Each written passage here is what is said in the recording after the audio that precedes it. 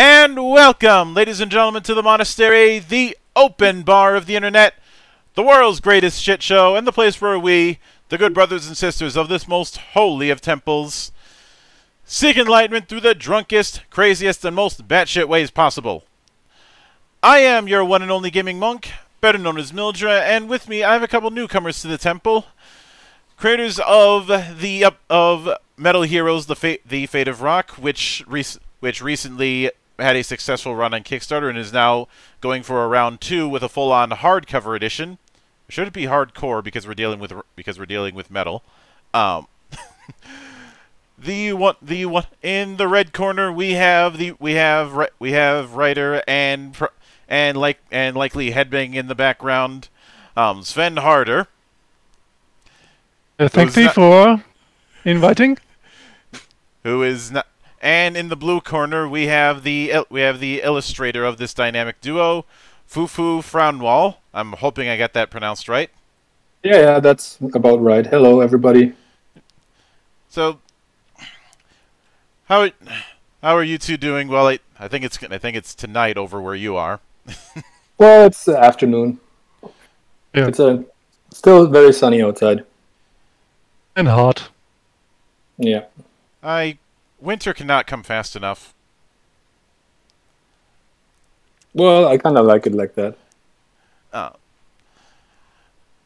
I'm just I'm just saying when it, when it's cold out, you can you can always put on more clothes and you can take off. Yeah, of course. Um, but I do want I do want to open at the be, at the beginning of sorts. So, Metal Heroes you're des you're describing is described as a rock comedy um, game book. Um, how did you two get into the to the whole game book thing? What was your introduction to it? Mm, my introduction was um, honestly in my early years as a little guy um, reading Lone Wolf books. That was my introduction, uh, introduction, and um, of course playing a lot of uh, pen and paper role playing games. Mm -hmm. Yeah, for me it was the same way basically although I wasn't, I knew Lone Wolf, but I, I didn't read it so much. Uh, for me, it was more the fighting fantasy series back in the 80s. Mm-hmm. Um, now, since since you mentioned role playing games, Sven, um, given given where you guys are, I'd like to take a stab in the dark. Was one of the games you cut your teeth on? Um, well, I'll use the I'll use the English name because I'm not because I'm not because my German's not that good. Um, the Dark Eye. Right. That's the most yes. famous uh, role playing game in Germany. Mm-hmm. Das Schwarze Auge. yeah. Yeah, I um I have a review of that in the in the back burner, but it's but it's the most recent edition, and I um only the last two editions of that have been have been translated into English, so I have no idea how it how it played in its early days. It wasn't a very um yeah, simple kind of pen and paper role playing game, just having five um, character stats. And I if I remember right, you ha haven't even any kind of talents or something like this. Yeah. Or perks, yeah. just it was, plain and simple. It was, it was kind of like the early version of Dungeons and Dragons. Mm -hmm. um, well, but, but as I recall, the whole thing started because because T, because TSR did, TSR didn't want to work didn't want to work with a a German publisher or some or something along those lines. Basic basically, there were plans on doing a um a German translation of D and D, but the deal fell through. Yeah, it was Possible, more or less a clone. It was more or less a, a clone of D and D. They like to do something similar and haven't got any license, so they started with uh, with uh, Black Eye, Dark Eye. Sorry, Dark Eye. um, now, with the with that kind of thing in mind, it's in, it's interesting that you mentioned Lone Wolf, since that since even among gamebook aficionados, that one doesn't get mentioned as much as say um, Fighting Fantasy in my in my experience, but. That brings me to the to um, the concept of um, met of Metal Heroes and the Fate of Rock. I have to use the full name because if I use Metal Heroes, I'll end up getting somebody confused with a um, mm -hmm. with a Tokusatsu series from the 80s and 90s. Um, right. how did the how did the idea how did the idea start start out? Was it was it just wanting to combine two hobbies that you happen to be into? Hmm. Um, well, actually, I've my very first game book um, was uh, a fantasy game book, mm-hmm. and uh, the the time I was promoting it, I always looked at the guys uh, coming to the booth, and um, they're wearing uh, most of them wearing metal shirts, you know. Mm-hmm. And addition, and additionally, I'm also a metal metalhead, so I was wondering why isn't there some kind of, of game book in this niche, you know? Mm-hmm. So I started thinking about it, uh, making a concept, and yeah, just do it in mm-hmm. three years. yeah, and since I also illustrated uh, Sven's first book, uh, Rider of the Black Sun, he asked me if I wanted to uh, collaborate on the on the uh, Metal Heroes book as well, mm-hmm. which I was glad to do. Now, with with that kind with that kind of thing in with that kind of thing in mind. So the as I understand it, the set the the set the set with within the setup you have the protagonist Taylor being essentially ch essentially chosen to build a garage band into the greatest metal act on the planet.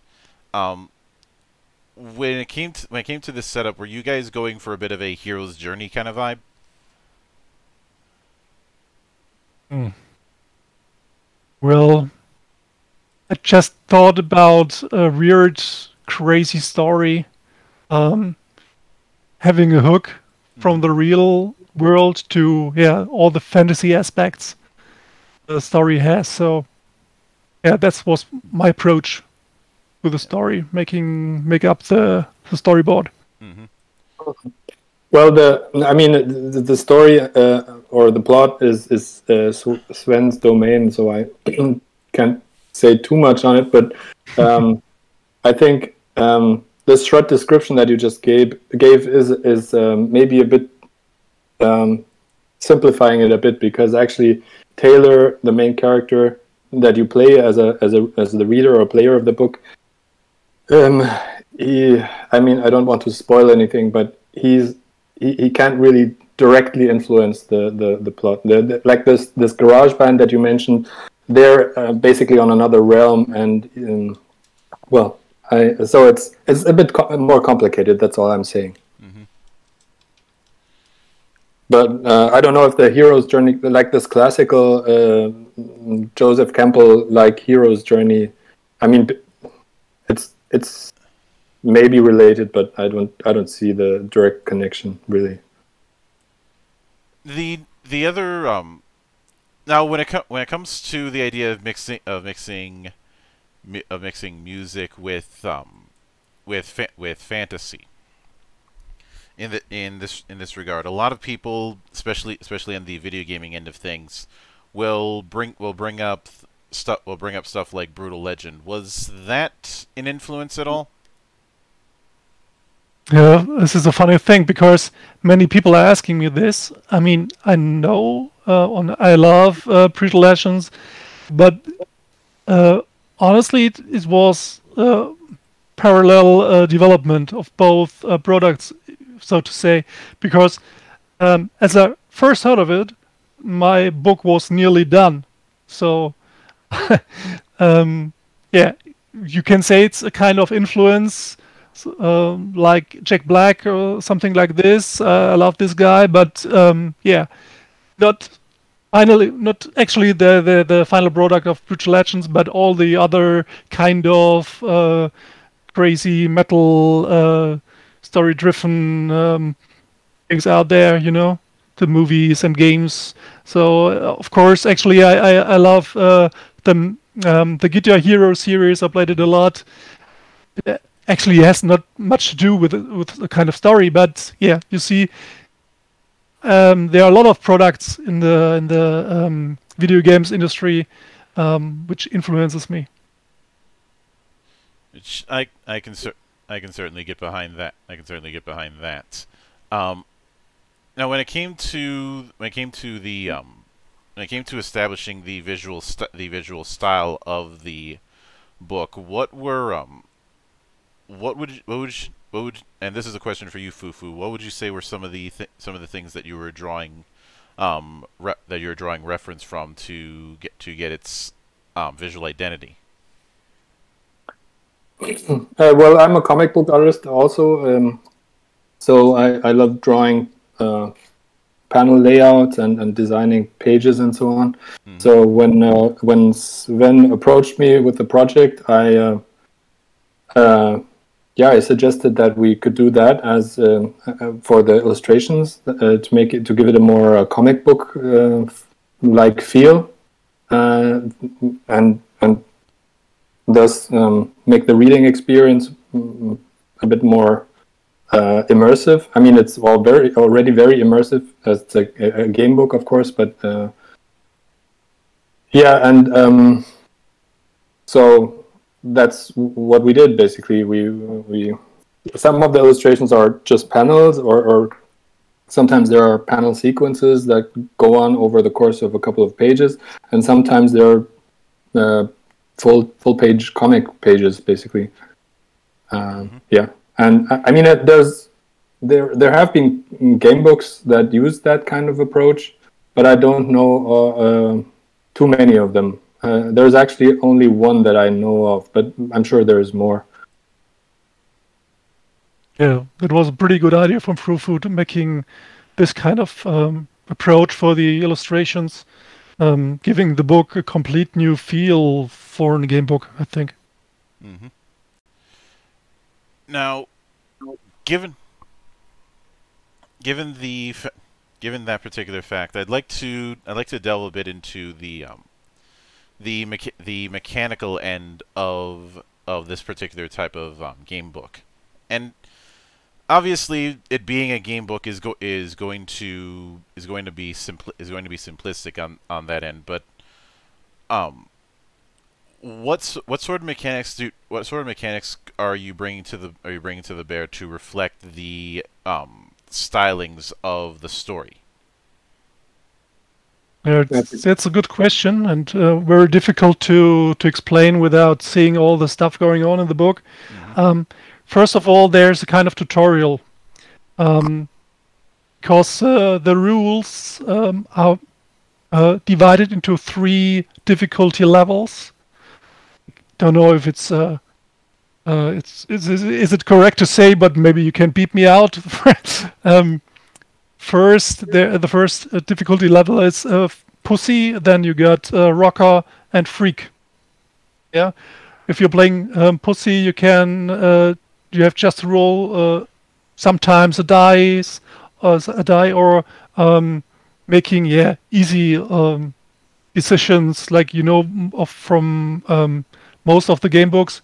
But if you play um, as freak, then you get the whole um, experience or um, rule set, which which is very yeah like a board game to say it at least. Um, and you have to follow all the steps from the from the tutorial and there are links in the from from the yeah, main story you're playing to this tutorial rule set uh, at the end of the book and you always referring back and forth you know to get more and more involved to the rules it's not um, very complicated but of course yeah it's um, you can play it as a you can play it as a casual gamer, or, or, like you know, I think you can compare it to that, yeah. or you can play it as a as a rule ner- rules nerd or something. I, I don't know. Maybe that's the wrong way to say it because, as Sven said, I, I don't think the rules are overly complicated, but you, you can get more involved with the uh, with the mechanics if you want, and if you don't want to, you can uh, play the easier, the the simpler mode. Is that, yeah. Can you? And there, there are many mechanics which are um, yeah, more or less uh, involving to the this kind of yeah, metal um, fantasy setting, like um, band chemistry or influence, because you are uh, um, kind of rock god, you know, mm-hmm. with with the power to control people, and you you can of course use this power sometimes with this value um, to yeah control the people and making yeah, funny things with them. I get, I can, I can certainly get, I can certainly um, get on that. Um, part of the reason that I asked that is one of the things that Lone Wolf is is somewhat known for, since you mentioned that was your uh, where you cut your teeth on this kind of thing, is the is the fact that you that um there's a bit of a skill system at play with mm -hmm. um with it with it where your choice of skills at the start will determine what sort of actions you can take as you go as you go in through that run of the uh, story. Mm -hmm. And yeah. I was yeah. curious if you um, if you guys are planning something similar. Um, no, there's no kind of skill mechanism in in the game, um, because for the main character, um, Taylor, you, the the rules are very simplified. The the rules are all um, yeah focusing on the band itself, and each character has its own skills. Mm-hmm. Um, like um, power, um, skill, present, and as a negative value, you got ego. That's are the four, um, yeah, skills or values for each character, and and each character has one very special you can unlock in the course of the uh, of the story, but it's very difficult to to find it. Mm-hmm. That's all. It's more because um, you have to see the the setting won't give up this um, this opportunity to fight or kill uh, orcs or, or, any kind of guys because you are playing the real world, you know. And there, of course, there are some kind of fights, but you're not you not have the thrill of death or you know, know what I mean. In, like in in, in uh, these fantasy settings, we're usually uh, playing with Lone Wolf or fighting fantasy books. So the approach of the rules are completely different because, like I said, you don't kill any anybody, but you have to uh, play perfect or good gigs, mm-hmm. and um, you have to do good music, make good music, and um, yeah, that's that's all about of this book. And then sometimes later, without spoiling, there's a kind of story twist, um, and this goes, this becomes more and more, um, yeah, not so important anymore. Making good music, just to survive and uh, to save the world of the all the stuff going on in the in the background. Yeah, it's hmm. it's difficult to explain for me without spoiling and with this uh, language barrier I have. Sorry for this. So I have to tell all the, the people listening right now I'm not translating this book. you can be sure of. I, I don't if it if it's any if it's any consolation when it when it comes to when it comes to your English um this isn't my first rodeo when it comes to English as a second language. It's not and it's it's not even it's not even my second or even my fifth. I've been doing this for way too much. Um, one thing that I came that I came across that I find interesting in the preview is this whole re this whole rewind and fo forward, essentially um, mm -hmm. flashback like seg like segments. What mm -hmm. what prompt what prompted that what prompted that idea? Um, this was an idea from my first game book. Mm -hmm. um, there, uh, there. This time I used the not just rewind and and as you said fast forward because sometimes you have ideas which are developing um, in the future or you want to take the the focus again back to to bring something back in mind for the for the reader you know for the player um, and this is yeah an, an easy um, an easy tool to, to yeah to set a, focus in you. Um, like like um, um, just for an example, if the band is going to um, select the manager, yeah, you can choose. Do you want to uh, to to have manager A or B?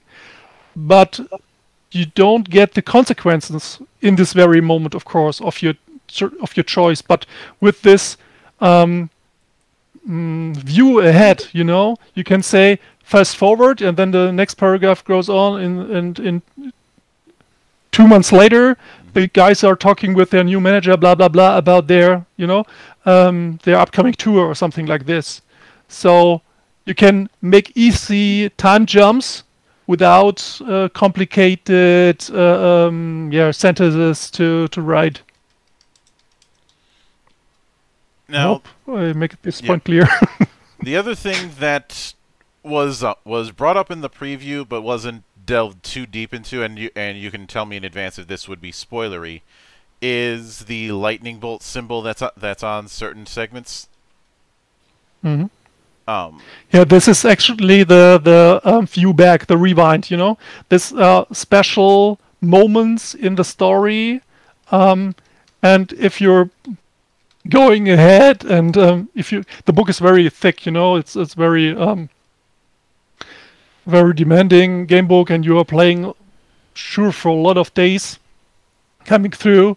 Um, and sometimes you're referring um, to people or situations, and maybe it's hard for the people to tell oh, who is this, uh, what what happened there, and it's important, especially especially if you are um, you are introducing some kind of uh, riddle or, or um, um, quiz or something like this, questions about the the guys or um, the storyline, and then you give the the um, the readers the opportunity to jump back and read this this some a few sentences between the the bolts, and then they get uh, they should get what uh, what's to uh, what is important in this situation. Yeah, the necessary good an easy way to try uh, get, uh, backtrack and get the relevant information without you know uh, having to search uh, the whole paragraph or, or the whole chapter or whatever.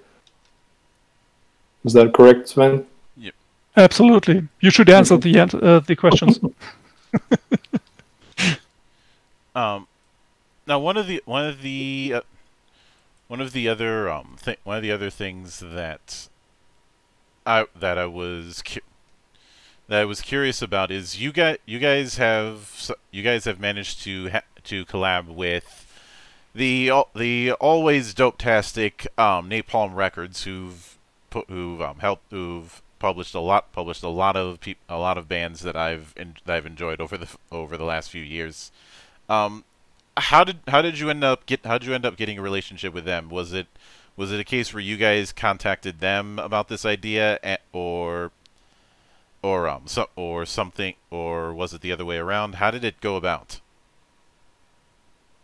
Um yeah it was more or less a coincidence.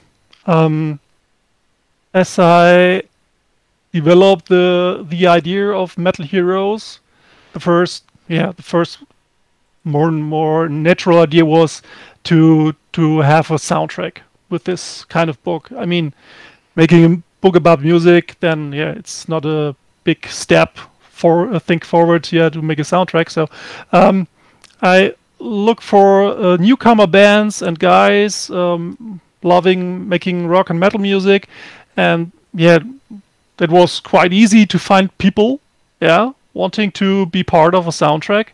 But in the end, it was more or less um, a problem for uh, with the um, German law, you know making music on a CD isn't so easy in, in Germany because all of this license stuff going on. Um, and I don't want to do that as an author, you know, making a be- becoming a, a small um, music label. So I was then um, yeah writing people in the in the business and in the a guy from Austria um, editor in chief of a um, metal maga- magazine there um, told me about the Napalm Records label and making this connection. So, and then the coincidence, coincidence was that the the guy in in charge there um, was, yeah, a game book lover or. Yeah, he had he know game books very well from his youth, so yeah, jumped right on the bandwagon. So it was yeah an easy going then. Having all the, the, the portfolio from um, from Napalm Records, all the bands mm-hmm. which uh, what they have uh, in, uh, under under contract. So that's that's the story behind it more or less. Yeah. Um, and since since some of the bands are going to be represented in the book, um, did you did you have did you have back and forth with with several of, with several of them to make sure that it make sure that everything was um, was go, was going to was going to fit? Yeah, um, I had contact with most of them, and of course with the with the uh, label itself. So um, not just for the for the bands, but also for um, some of the places like uh, maybe you know Wacken. Maybe you've heard of it. I it's know. One of the, the Wa- biggest. Wacken yeah. is on is on my is on my bucket list of, okay. of places of places I want of places I want to go to at least once. Cool. Yeah, this uh, this place or this uh, logo we are using is of course uh, also a trademark, so we have to yeah deal with them as well. But yeah, it's always back and forth, like you said. Uh, you have to write uh, all the stuff, you have to send it to them, and they have to check it. It's correct. Um, yeah, it's not easy. It's.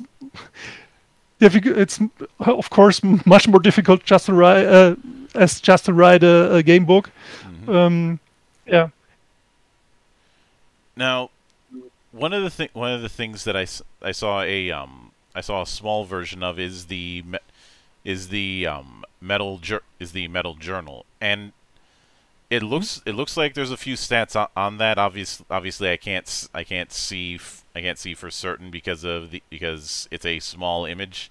But what could you tell mm-hmm. me about what the met about what the metal journal is going to look like? Since I I'm assuming that's basically your character sheet. Yeah, that's right. It's a character sheet, but it's more. Um, yeah, you have all the stuff what you're needing for uh, for the adventure on it. You have the yourself Taylor with this stats, but yeah, it's it's really simple. Um, just uh, you have just uh, the, the, your influence uh, and uh, some kind of um, inventory. Yeah, a few few slots, but the main focus is on the on the band with the four guys um, with their stats and uh, their special, uh, like I said before. Then you got the page of uh, yeah with your supporters. Just there are five people with their uh, portrait. You have, can can um, cross them off if you're coming friends. And um, the next one, I should look at myself. Maybe it's easier for me to tell. But um, you got the tour book. Yeah, um, with all the possible gigs you can play um, if you're uh, uh, make your your tours around the world, and at finally the song, uh, the track list, uh, the the repertoire repertoire of your um, of your band. There um, a maximum 40 songs you can unlock mm-hmm. throughout uh, the game.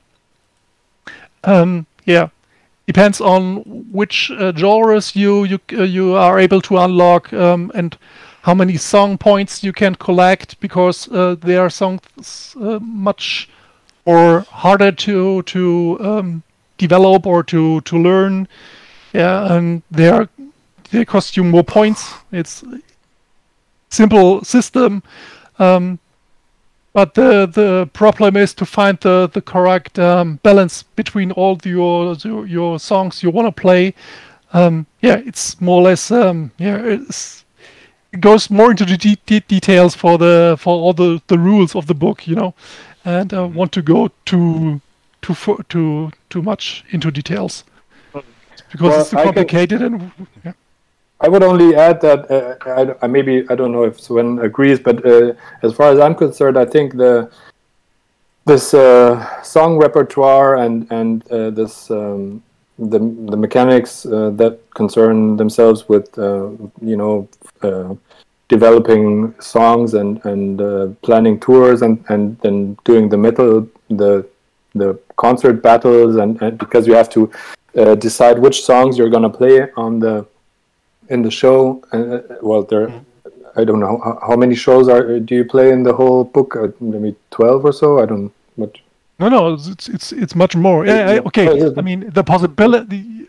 in the end, you're playing maybe a dozen of of the these gigs, right? But right.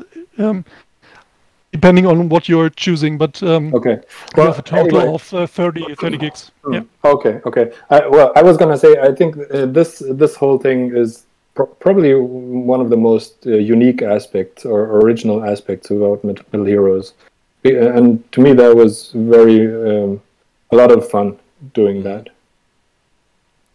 And yeah, I, I, and I also think it adds to the replay value too because you can you can that second time that you play you can decide maybe to to learn different songs and to go for uh, other genres or whatever mm.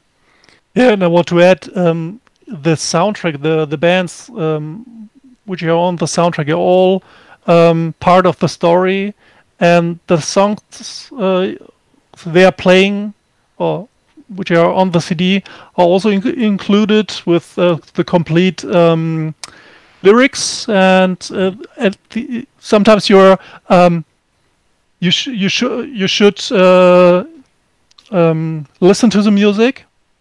There's a, a, CD attached to each book, or you can uh, use a download code, or Spotify, or YouTube.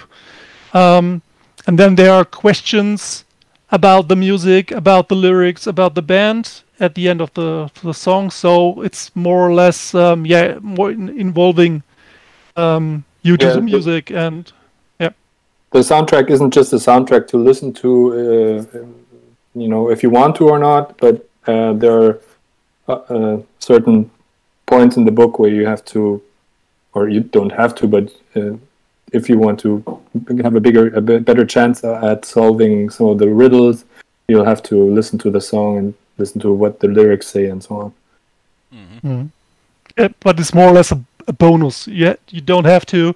It's yeah, just having fun. You know, that's all. I I gotcha.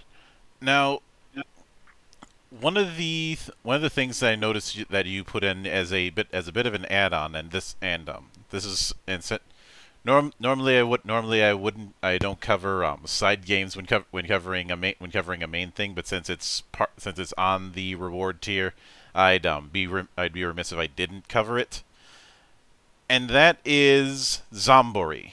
Um, hmm. what can what can you tell me about that and what's and what that's what that particularly is bringing to the table? Okay, Fufu, it's your turn. yeah, well, this Zombori is a card game, game that I actually uh, developed uh, with the help of a friend. Um, actually, a, year, a, couple of years back, um, and it's it's a pretty simple idea. It's uh, probably everybody knows the those memory card games where you have to find two two identical pairs of cards and so on.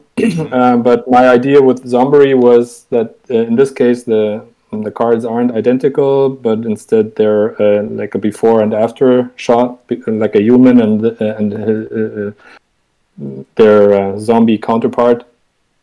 and um, from from that point on, I I realized that uh, with with the two different cards that correspond to each other, you, that opens up a lot uh, of possibilities for um, additional game mechanics. So in the end, um, I ended up ha- having um, one game that consists of three different games that you can either play separately or as a like a basically a, a zombie apocalypse con- campaign, which sounds very complicated, but it's uh, it's not very complicated. Well, I meant I meant in one of my old D and D campaigns, I managed to work a full a full tournament arc involving three involving three dragon antes. So I don't so I don't see why not. At the very least, Zombori is going to be simpler than three dragon ante. I don't know. Well, the third the third uh, game uh, mode is is fairly involved. Actually, it's uh, it turns into a kind of a mm, board game where you have to cross like you have a, z- a team of human survivors and you have to cross uh, a zombie infested terrain mm-hmm. uh, without getting eaten or turned into a zombie yep. now the other th- the other thing that I saw as an I saw as an add-on that I, that I was curious about was um your your first game book, Rider of the Black Sun. Um, given given the fact that that, that, that was your first and the, and you've gone through four you've gone through four editions of um, Metal Heroes, what have what what have been some of the um, takeaways and some of the lessons that you that you guys have learned in the years since? Do you mean um, about Kickstarter or ge in general? I mean specifically when it comes to designing game books. Okay. Oh, that's a tough question. Um, making uh, things easier, so as much easy as it uh, should, as it's po even possible. Mm. Yeah, um, in development. Uh, yeah, planning. So, hmm. I always uh, I find my own tools. You know, as I very as I started with the Rider of the Black Sun, I ev don't even thought about to bring it uh, as a book. Just uh, just did it for myself, and in the uh, the half of the the production or in the writing, I uh, looked for a, um, um, a production house, a printing house, and found uh, Mantikore Verlag in Germany, which mm -hmm. was a yeah another coincidence, but from then from then on, I, I learned uh, how to make things easier. Not, uh, of course, as I, as I started, I just tried to write perfect perfectly in the form of a game book. You know, starting with paragraph one and then uh, started um, um, randomizing the, all the paragraphs and, and, stuff going on just to have the perfect game book from the stretch, you know. But um, then I learned it's this is not the the perfect way, of course. Just write your storyboard, just write down your ideas, uh, uh, separate the the stuff into into um, chapters, and yeah, make it easier for yourself, step by step. You know, that was the first lesson I learned.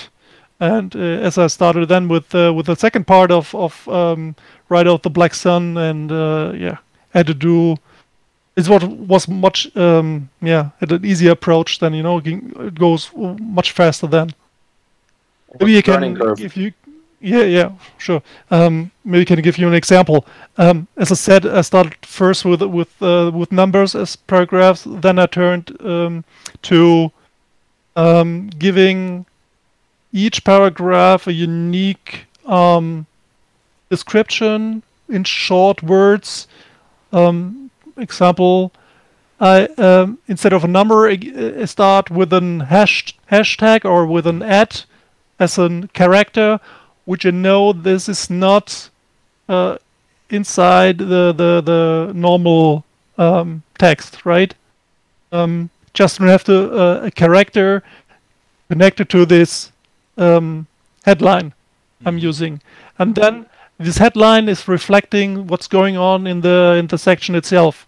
So maybe there is um, um, Taylor um, collecting clothes, just in one word, and all written in in um, in the upper upper caps in caps. You know what I mean? Mm-hmm. But it's only for your, for your for your uh, to for your information. It's not for the reader. Right. the reader doesn't see this uh, in the end. Right. That's and what I'm, you're saying. When I'm right when I'm finished, then I'm collecting all this headline into one Excel sheet, and then I know what's going on, and uh, replace them with uh, with the numbers, and then I can randomize it and yeah, and the, and yeah, I I always see on the first sight what's going on in the in this paragraph without looking, looking or reading any any sentence of it. All right. Now it's just a small example for yeah make make things easier for me. Yeah. Now um. Previ- now, not too long ago, you guys had you guys had done a kick a Kickstarter for what I believe was essentially a softcover version, and this current Kickstarter, which is which is um do which is doing pretty well for itself so far, is um is for a hard is for a hardcover version. The correct. The que- the um the question that the question that I have is is when is um when it comes to when it comes to this when it comes to this ver when it comes to this version um what are you shooting for as far as a release window I I realize that um that go that hardcover is going to is going to take a bit because that's always that's always that's always a trickier affair to print And we will try to release it at, at the end of the of the year, the fall of 21. Maybe there that this will suffer small delays. We cannot mm-hmm. Be very we cannot be absolutely sure, but we we try our best. Um, depends on how uh, successful is a Kickstarter. Are there more stretch goals? You know. Um, yeah, the situation. Maybe Fufu can can jump in as well for answering the question more fluently than than me, but uh, I can try it. Um, first, as we started with the first Kickstarter in November, um, maybe you can remember this was not actually the the best time um, to do it mm-hmm. in the retro perspective. Um, and yeah, yeah we were was going on, and, and there was in the middle of Corona and so on. So yeah, And I think that's what you were referring to. We, we, we fell a little bit short uh, with a stretch goal for hardcover edition, and many of the of the bakers uh, asking us, um, well, we want this. Uh, what can we do? And yeah, we just came up with the idea. Okay, we can make just another uh, Kickstarter for the guys saying uh, we want we want some. Um, and over 50% of the guys uh, who picked first um, came back. Mm-hmm. Um, and yeah, make it happen. So the second campaign is still running, but it's founded already. So this means all the guys from the first campaign will get their hardcover edition, regardless if they have um, pledged for the new one or not. But yeah, yeah, so it's basically the the the softcover uh, version from the first campaign was upgraded into a hardcover. Everybody gets the hardcover now. Now, but of course, we we are asking for those guys. Um, please come back, support us again, mm-hmm. uh, make more stretch goals uh, possible.